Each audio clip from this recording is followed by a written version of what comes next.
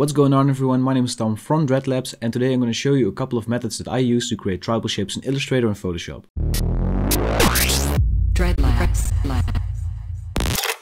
So the main takeaway from tribal shapes is that they basically look like lines that have bites of ellipses taken out of them, if that makes sense. And I'm going to show you that in the most simple way. So we're going to try uh, starting out in Illustrator with the most basic shape possible. I'm going to grab the ellipse tool and we're going to draw an ellipse. And for this, I'm going to just press D on my keyboard so that we have a white fill and a black outline. So we kind of can see whatever we're doing and which of these shapes is on top of one another. I'm going to hold Alt or Option on my keyboard and dragging this out. And as you can see, the overlap between here, so this part here, already kind of looks like a tribal shape. And if I select both of them and under the pathfinder, I'm just going to click minus front. And as you can see, this is the very, very basic thing that a tribal shape does, as you can see in the references here. Essentially, this is a line that tapers on both sides with basically some other ellipses taken out of it. So let's just make a new ellipse and with the rotate tool, I'm gonna rotate it around real quick. And if we minus this, as you can see, we're already getting to start have something similar of a tribal shape. So during the rest of this video, I'm going to show you a couple of methods that I use to create more intricate tribal shapes. And later I'm going to move into Photoshop and show you how to do this with the brush in Photoshop. So the first tip is actually use larger circles to punch out main parts of the body of the tribal shape, if that makes sense, and rotate them a little bit. As you can see, if we now made this front ellipse a little bit larger, as well as uh, rotate it a little bit and that just gives a more uh, natural looking tribal shape. Another way to achieve this is just draw a line with the pen tool.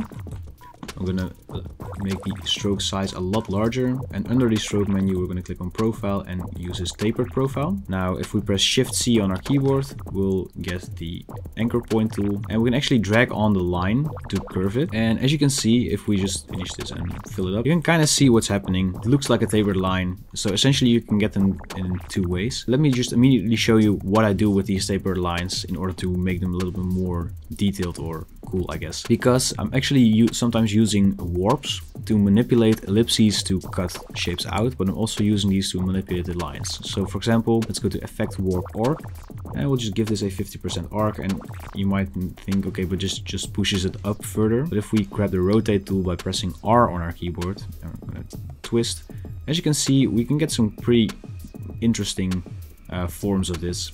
So for example, if we take a look at this one and let's just go to object expand appearance, uh, you'll see that we actually, yeah, this is a pretty interesting looking shape now. And of course, if we just command Z a little bit and make this even thicker and just expand the shape again, as you can see, we still have the path in there as well. We can just delete that. Now we can, for example, use an ellipse to bite out a chunk here. And a nice way to do this is actually uh, using an ellipse tool with the white front color or whatever color your background is. And this basically helps you immediately visualize what is going to be like bitten out of this shape, if that makes sense.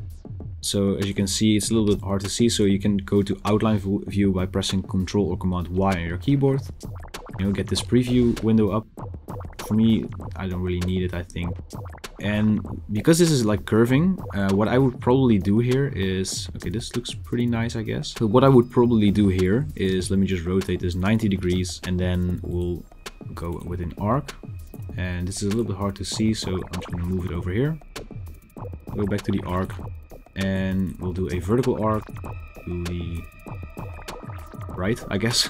and then, of course, we'll expand this appearance again. So now we have this like banana shape, which we can then also use to cut out parts of our uh, tribal here. As you can see, uh, maybe we'll rotate this just a little bit so that it takes some nice decent chunks out of here and of course then we can just use the shape builder tool to, to trim off these uh, ellipses so we'll just select all of them go to the shape builder tool and then we'll hold alt or option on our keyboard and we'll just drag away at like our excessive shapes. And this gives you like a nice speedy looking tribal shape. So I hope these tips combined give you a nice basis to start off working on your first tribal shapes in Illustrator. And now let's move on to Photoshop and show you how I do it with the brush tool. Alright, so for the Photoshop method, I'm just going to use a normal brush with the hardness set to 100%. And we can just, of course, make this as large as we want. One thing here, I would always advise you to use a drawing tablet when working with brushes in Photoshop. I don't have one uh, with me at the moment. I do actually use one when I do my artworks, but I just wanted to show you that it is actually possible to do it without one, but I would advise you to consider buying one if you're really into this. Under the brush settings, uh, what I'm going to do is go to shape dynamics, and if you have a pen tablet, what you want to do is control the size jitter with the pen pressure here. So if we can't control uh, our size with the mouse, uh, this is just this will just have to do. I'm going to make sure that the spacing is set to 1% and I'm actually going to draw out a shape here. And one tip here, if you are uh, if you are a little bit wonky like me, for example, if I want to draw a, like a smooth line, you can kind of see that it looks a little bit smooth, but you can also just turn up the smoothing here. So if I'm going to set this to 100%, it's going to take a little while for the actual brush to follow my mouse, but this results in smoother edges as you can see. Alright, so now the one trick is of course in Illustrator we use ellipses to get rid of like all of the shapes. What I'm going to do here is use the eraser tool. So I'm just going to make sure that my eraser is also set to 100% hardness and the spacing is set to 1%. And uh, the smoothing is also set to 100% just to make it easier for myself. And I can just start trimming off parts here of our uh, shape here. So we'll just delete this part entirely. And as you can see, the main goal here is to trim off the edge so that there's a small point like ending here. So you, you want to really taper those, uh, those shapes. And this looks a little bit like it's not really sharp enough. So what I would do here is, for example, go and take a bite out here. And perhaps, well not this close, maybe I'm going to try to like this.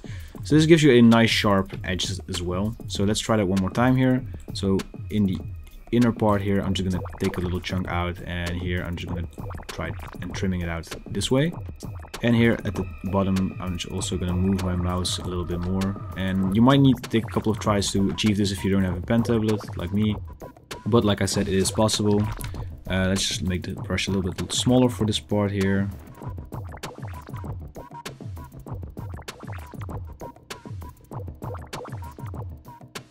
Nice chunky boy here. Maybe I want to take one more bite here to make it a little bit thinner. Maybe that's too thin. Let's do this one more time. So we'll just move this down here. And as you can see, like the faster I move my mouse, the smoother the motion will be if I set my smoothing to 100% here. So erase this part here. And we'll just go like this. And of course, as you can see, sometimes I'm trimming a lot off. So here in Photoshop, I would say make a very large uh, like portion of your brush so because there's gonna be a lot erased, I guess.